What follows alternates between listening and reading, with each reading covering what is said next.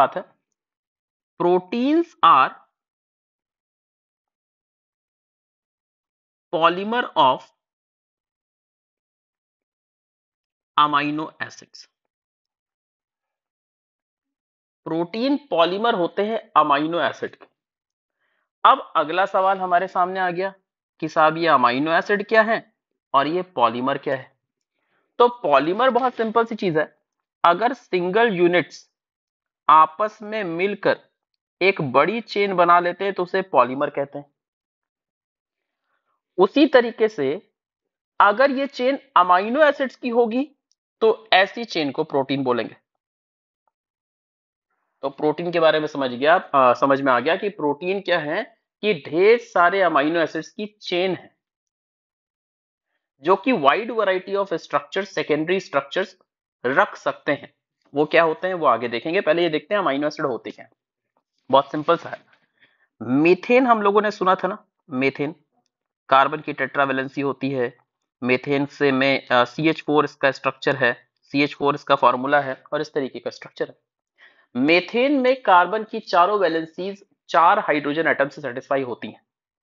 अब अगर ऐसा हो कि एक हाइड्रोजन एटम रिप्लेस हो जाए अमाइनो से अमाइनो ग्रुप से, और एक हाइड्रोजन रिप्लेस हो जाए एसिड ग्रुप से।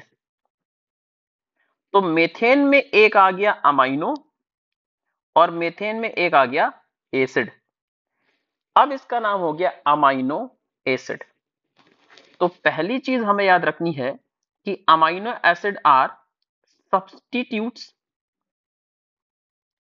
of methane methane के सब्सटीट्यूट होते हैं, जिसमें आप यहाँ इस डायग्राम में देख सकते हैं कार्बन की एक वैलेंसी एक अमाइनो ग्रुप सेटिस्फाई करता है, एक वैलेंसी एक कार्बोक्सिल ग्रुप सेटिस्फाई करता है। एक वैलेंसी में हमेशा हाइड्रोजन होता है यह अमाइनो एसिड की खासियत है। एक वैलेंसी में हमेशा हाइड्रोजन होगा। और चौथी वैलेंसी जो होगी, उसमें एक वेरिएबल ग्रुप होगा जिसे हम आर से रिप्रेजेंट करते हैं। उसमें एक वेरिएबल ग्रुप होगा, जिसे हम आर से रिप्रेजेंट करते हैं। तो amino acids are substitutes of methane जिसमें एक वैलेंसी अमाइनो एसिड से सेटिस्फाई होती है। एक वैलेंसी कार्बोक्सिल ग्रुप से सेटिस्फाई होती है। एक वैलेंसी हाइड्रोजन से सेटिस्फाई होती है। और एक वैलेंसी में एक वेरिएबल ग्रुप है आर अब ये जो वेरिएबल ग्रुप है ना बच्चों, ये कुछ भी हो सकता है। आर हाइड्रोजन भी हो सकता है मिथाइल भी हो सकता है प्रोपाइल भी हो सकता है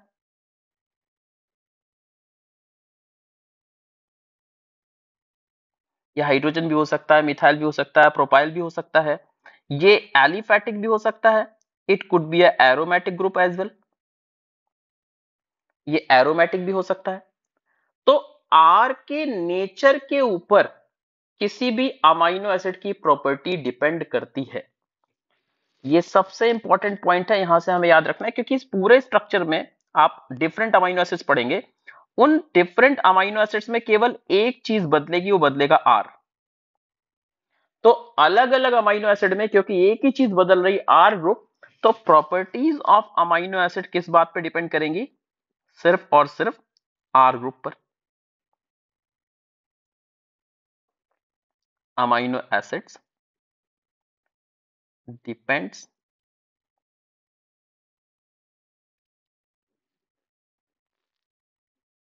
upon R group जो अमाइनो एसिड की प्रॉपर्टी है वो आर ग्रुप पर डिपेंड करेगी। दूसरी इंपॉर्टेंट बात ये ये मतलब जो मैं बात बताने जा रहा हूँ, बहुत इंपॉर्टेंट है। आप primary carbon secondary carbon tertiary carbon जानते होंगे। नहीं जानते तो जान लीजिए। ऐसा कार्बन जो डायरेक्टली एक कार्बन से जुड़ा हो, उसे बोलते हैं प्राइमरी कार्बन जैसे यहाँ पर आप ये कार्बन देख रहे हैं सेंटर एटम ये डायरेक्टली एक कार्बन से जुड़ा है, इसे बोलते हैं प्राइमरी कार्बन ऐसा कार्बन जो डायरेक्टली दो कार्बन से जुड़ा हो, उसे बोलते हैं सेकेंडरी कार्बन जैसे कि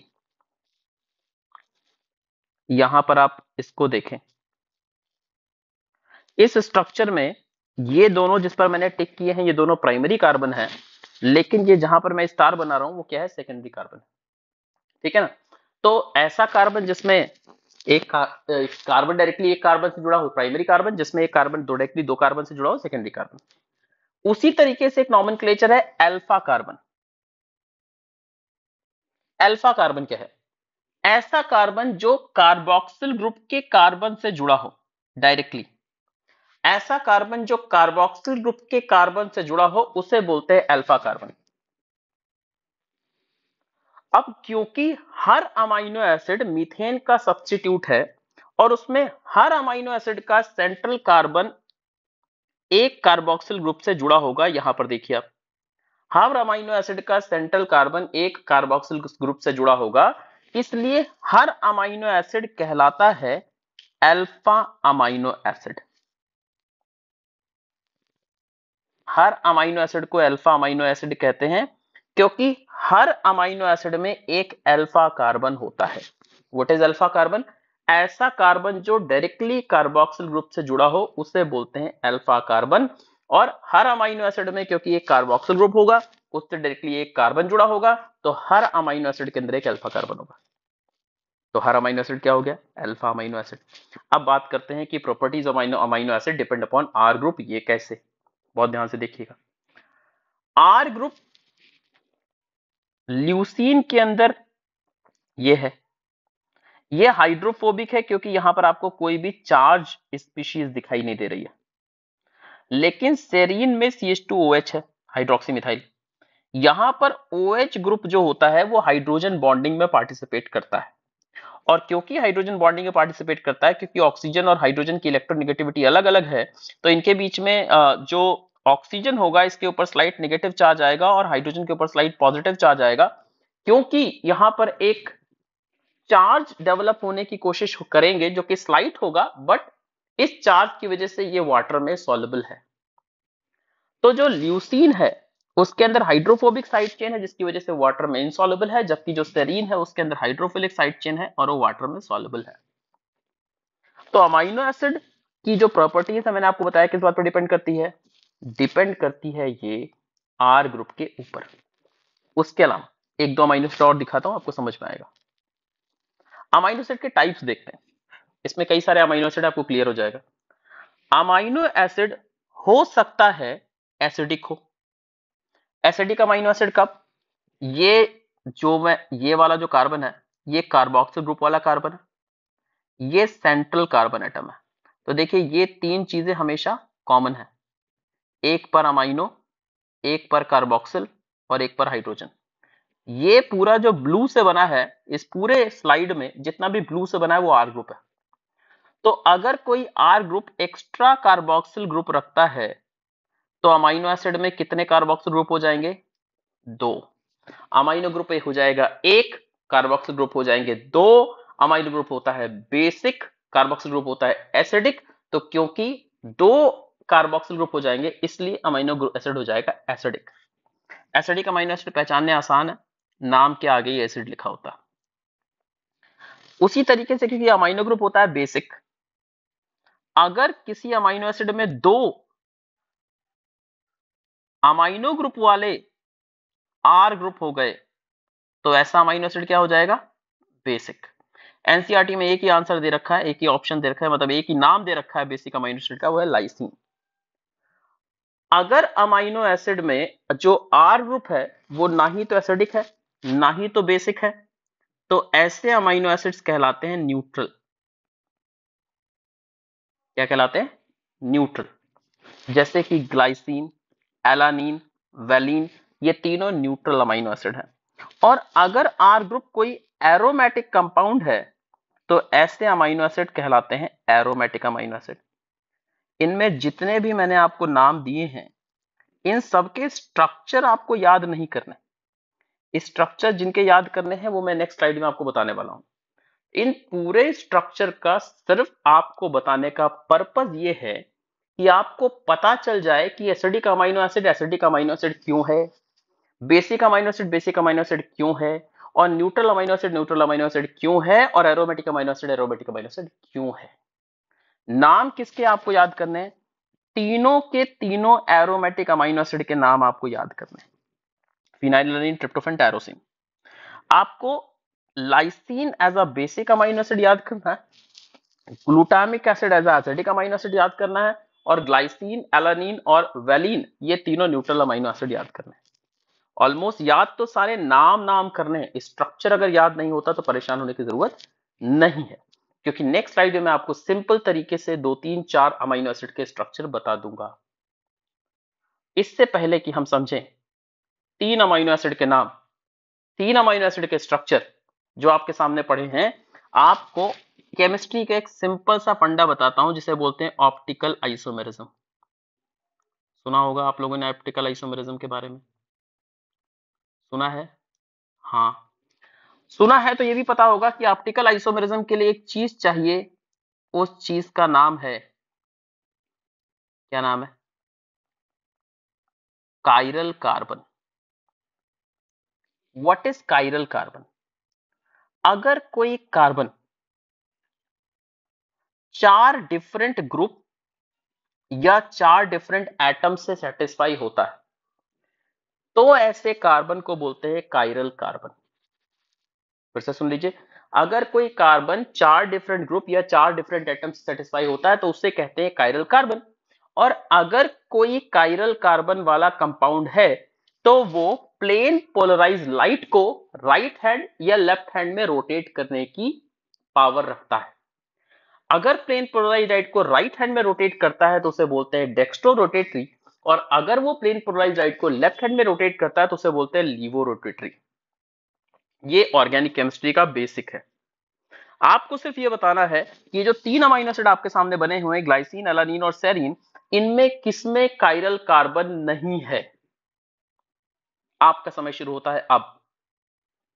वेरी गुड चार बच्चों ने ऐसा सोचा कि this carbon is not a chiral carbon जबकि एलानीन के अंदर और सेरीन के अंदर कायरल कार्बन है।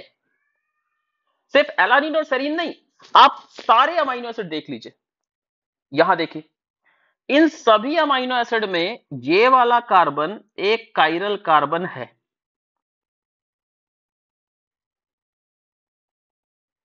सिर्फ़ एक अमाइनो एसिड है, जिसके अंदर कायरल कार्बन नहीं है, क्योंकि उसकी दो वैलेंसीज हाइड्रोजन से सेटिस्फाई हैं। कौन सा अमाइनो एसिड है वो? ग्लाइसिन तो काम की बात यहाँ पर आपको याद रखनी है कि glycine is the simplest amino acid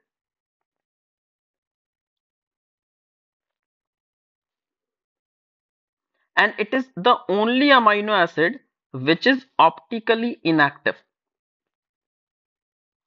Which is optically inactive. बाकी सारे के सारे अमाइनो एसिड्स ऑप्टिकली एक्टिव होते हैं। तो आपको ऑप्टिकली एक्टिव अमाइनो एसिड के नाम याद नहीं करने बच्चों, आपको ऑप्टिकली इनएक्टिव अमाइनो एसिड का नाम याद करना है, वो है ग्लाइसिन बाकी सारे के सारे क्या हो जाएँगे? ऑप्टिकली एक्टिव आसान सी चीज़ है। बहुत इजी है, बहुत बढ़िया। सिंपलेस्ट अमाइनो एसिड कौन glycine optically inactive amino acid कौन ग्लाइसिन ऑप्टिकली एक्टिव बताओ एलानिन है कि नहीं है? है सर सेरिन है कि नहीं है? है। एस्पार्टिक एसिड है कि नहीं है? है। ग्लूटामिक एसिड है कि नहीं है? अब देखो नाम कैसे याद करें। मैंने आपको बताया अमाइनो एसिड में एक कार्बन है। उस कार्बन के साथ एक अमाइनो ग्रुप मस्ट रहेगा। लेफ़्ट हैंड पे लगा दो अमाइनो ग्रुप राइट हैंड पे लगा दो एसिड ग्रुप ऊपर की तरफ़ चढ़ा दो एच नीचे की तरफ़ वाला जो वैलेंसी, वो आर के लिए बची है। अगर हम इस आर की जगह पर लिख देते हैं, हाइड्रोजन, ये हो जाता है glycine. Limited number of example बताने वाला हूँ मैं। अगर आर की जगह लिख देते हैं सी एच थ्री तो ये हो जाता है एलानीन और अगर हम आर की जगह पर लिख देते हैं C H two O H अब ये हो गया सेरीन ये तीन एग्ज़ाम्पल याद करो, कल्याण होगा। एक चीज़ और। एलानीन बनाने के लिए हमने किया क्या यार? एलानीन बनाने के लिए हमने बहुत आसान सा काम किया भाई साहब। एलानीन बनाने के लिए हमने क्या काम किया है कि हमने जो आर ग्रुप था, उसकी जगह लगाया था मिथाइल ग्रुप बोलो हाँ। अब मिथाइल ग्रुप से एक और हाइड्रोजन छीन लेते हैं। तो ये हो जाएगा सी एच टू इसकी जगह लगा देते हैं फिनाइल ग्रुप भाई देखो, मुझे केमिस्ट्री ज़्यादा नहीं आती, लेकिन फिर भी जितना आता है उसने ज्ञान से बता रहा हूँ मैं। किसकी जगह लगा देंगे? Phenyl group. तो अगर हमने एलानीन में लगा दिया फिनाइल ग्रुप तो अब ये क्या बन गया है? अब ये बन गया है फिनाइल एलानीन। बोलो, बात समझ में आई? अगर फिनाइल एलानीन में लगा दें ओ OH ग्रुप तो अब ये बन जाएगा टाइरोसिन। मतलब कुछ चीज़ें आसान हैं। एटलीस्ट पाँच अमाइनो एसिड का स्ट्रक्चर तो आपको याद हो